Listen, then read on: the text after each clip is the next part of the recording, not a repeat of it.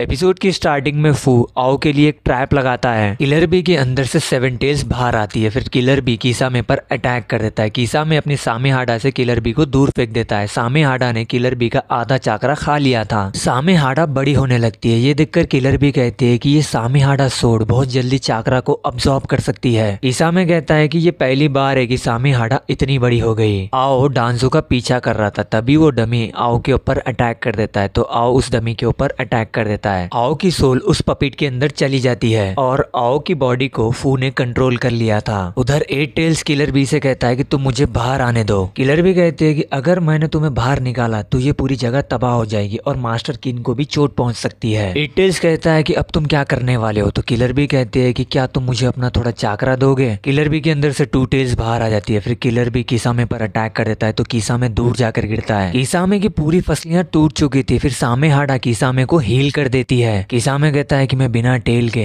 tell beast हूँ फिर किसामे अपने वाटर स्टाइल जुटसू से एक बड़ा सा पानी का गोला बना लेता है आओ के पास मिजुका के आती है फिर वो आओ को एक पंच मारती है वो आओ की बॉडी में से निकल कर चला जाता है उधर किसामे सामी हाडा के साथ फ्यूज हो जाता है किसामे एकदम शार्क जैसा दिखाई दे रहा था ये देखकर किलर भी मास्टर किन और उसके रैकून को उस पानी के गोले में से बाहर निकालने की कोशिश करते हैं लेकिन किलर बी को उस पानी के गोले का एंड ही नहीं मिल रहा था एटेल्स कहता है कि ये पानी का गोला किसामे के साथ साथ आगे बढ़ रहा है अगर तुम मास्टर किन और उसके रैकून को यहाँ छोड़ दोगे तो किसा में तुम्हारे पीछे आएगा फिर वो लोग इस पानी के गोले से बाहर निकल जाएंगे किलर भी मास्टर किन और उसके रैकून को छोड़कर वहाँ से चला जाता है लेकिन कीसा में मास्टर किन के ऊपर अटैक कर देता है तो किलर भी मास्टर किन को बचाने के लिए आता है फिर कीसा में किलर बी को पकड़ लेता है कीसा में किलर बी को दूर लेके जाता है कीसा में किलर बी को हरा देता है तभी किलर बी स्मोक स्क्रीन का यूज करता है और वहाँ से भागने लगता है कीसा में किलर बी को मारने लगता है फिर वो पानी का गोला भी वहाँ से गायब हो जाता है कीसा में में हाडा को अपने से अलग कर लेता है कीसा में किलर बी की टांगे काटने वाला था लेकिन